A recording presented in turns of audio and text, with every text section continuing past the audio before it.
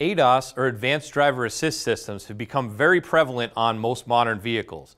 Systems such as the blind spot monitoring system, which tells you if there's another vehicle in your blind spot, when the repairs are made, sometimes they need to be calibrated. Now, sometimes it could be driving down the road, which we call a dynamic recalibration, or you may need a targeting system in the shop called a static calibration.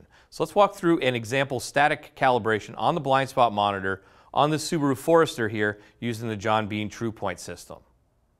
Okay, so here we are on the home screen of the TruePoint system. Now notice on the screen we have a workflow. So first one is shop preparation. You want to make sure you check into that uh, whatever needs to be done there. Vehicle preparation as well. Also need to mount the wheel targets. Now we've already done that for the essence of time here. If you need to know how to do that, there is a demo video built in which you can watch. Next thing we would do is start the ADAS process. Now you can do it multiple different ways. We can ID manually your make model, or there's a built-in VIN scanner so you can scan the barcode on the VIN. Or in this case, this Forester is already loaded in there in my history, so I'll just double click on that and pull that up out of my history. Okay, so this is our vehicle history screen. It shows any reports that may have been generated in past previous calibrations. Uh, in this case, I'm just going to hit use vehicle on the bottom right, and that'll load the vehicle into the system. Uh, now, what do I need? What features are installed on this vehicle? So it does have front camera, and it does have side and rear radar. So I'll hit next to continue. All right, so the first thing we need to do is perform the alignment verification. Now it has us do a few things with the frame. We can see we're a little outside of that target and the beam needs to be lowered a little bit. So we'll lower the beam down so it can see all the wheel targets. There we go. Now we see all four green check marks on the screen. That indicates it can see all four targets. Now we're a little back and a little bit to the left. So we need to move this frame forward and angle it slightly. Something like that. So once we're in the green, we pause, let the frame settle down, moves to the next screen. Now it wants us to do the rollback, rolling forward and rolling backward on the vehicle, and this will help verify that alignment is correct. So I'll move this around so we can see on the other side of the vehicle. Okay, so the vehicle is already in neutral, so we have to roll forward first. So roll forward until it gets into the green. Then we need to roll it backwards. It's in the green there. There we go. And one more forward.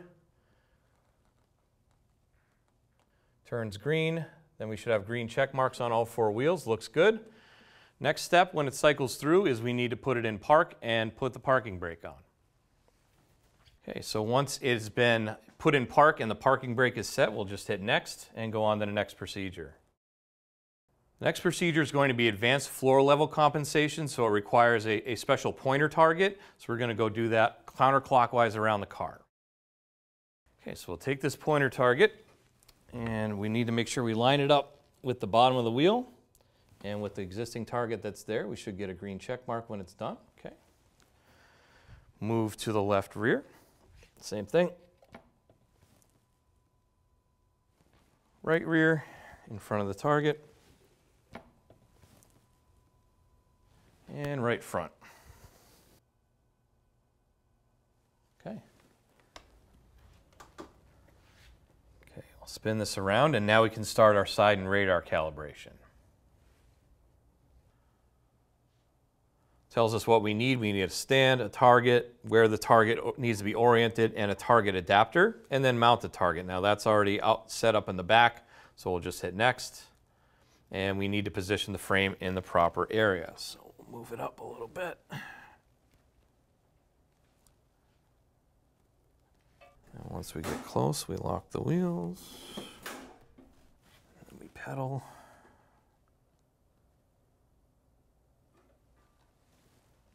And let that settle down a bit. And we'll hit next. And we need to raise the beam slightly.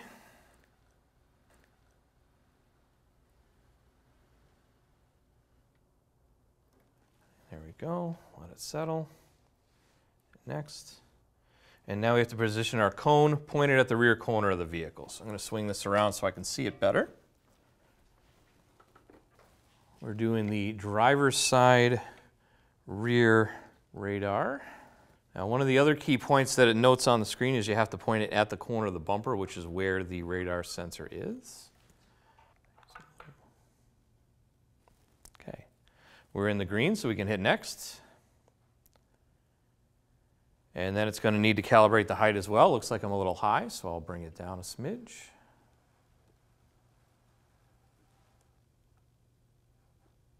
About there. All right, and we are where we need to be. Hit next. And we also need to make sure the area is clear around the rear of the vehicle. And if we hit next again, we now break out the scan tool.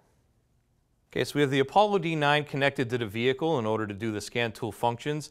Now I do want to mention that any Snap-on scan tool, as long as it has current software, will be able to perform these functions uh, across the board. So it doesn't really matter what Snap-on scan tool you have, Solus or a Modis or a Triton or an Apollo, any of, the, any of our scan tools will be able to do these functions. You just may, maybe need the targets like we set up before.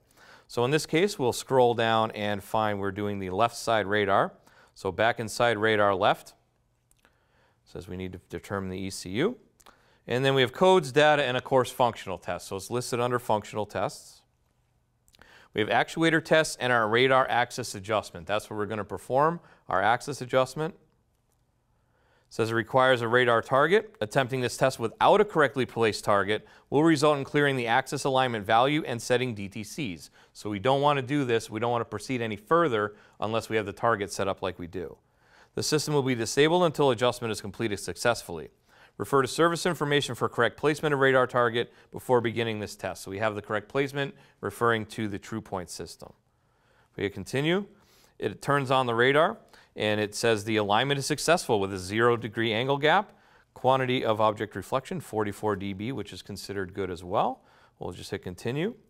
And exit the test, turn the ignition off to complete the procedure. Also generates a ADAS calibration report for us, so we can save this to the Snap-on cloud and we'll also save to the tool. This allows us to share these with customers or insurance companies for uh, use for proving that we did the recalibration on the vehicle there. Okay, so last thing we need to do is come over to the TruePoint system and select procedure completed. Then we'll select next. Once we're done with that, we're going to come up with a done or exit. So we'll hit done.